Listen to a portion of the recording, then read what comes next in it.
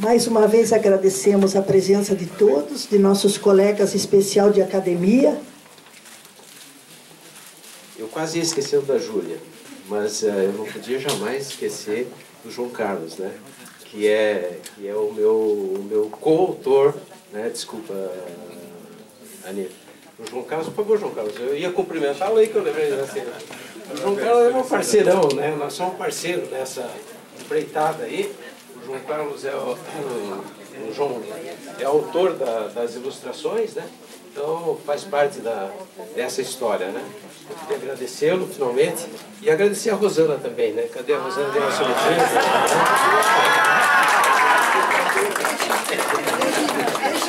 E, e para encerrar, eu gostaria de agradecer aqueles que eu estou esquecendo de agradecer.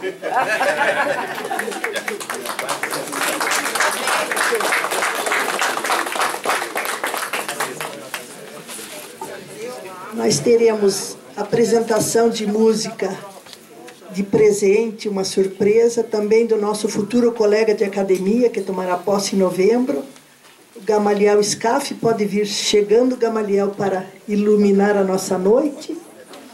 Agradecer a presença também do grande médico Paulo Bittencourt, que larga todo o seu consultório para para vir dar um abraço nos amigos, agradecer a presença de todos, e em especial do presidente do Tribunal de Justiça, que há décadas, há gerações e mais gerações, fazem cultura, cultuam cultura, preservam cultura, e tomara que siga esse belo exemplo, como Paulo também, presidente, que deixou essa casa, mas está se encontrando aqui conosco, e que mais e mais e mais cultura seja feita, mais e mais escritores. Como eu digo, eu sempre procuro o escritor que mora dentro de cada um.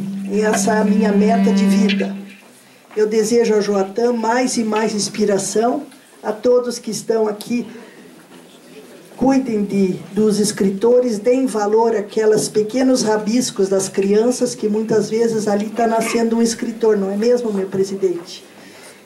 E declaro encerrada a presente sessão, alusiva aos 80 anos da Academia de Letras José de Alencar, é a primeira, onde a Helena Colodi está mais do que homenageada a iluminar os 20 escritores que irão compor esta casa.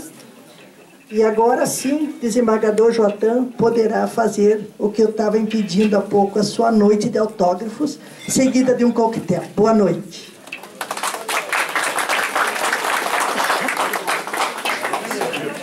Presidente.